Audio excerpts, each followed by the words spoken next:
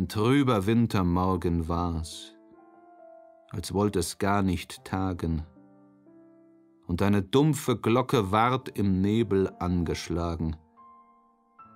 Und als die dumpfe Glocke bald, die einzige verklungen, da ward ein heißeres Grabeslied, ein einzger Vers gesungen. Es war ein armer alter Mann, der lang gewankt am Stabe. Trüb, klanglos wie sein Lebensweg, so war sein Weg zum Grabe. Nun höret er in lichten Höhen der Engel Chöre singen und einen schönen, vollen Klang durch alle Welten schwingen.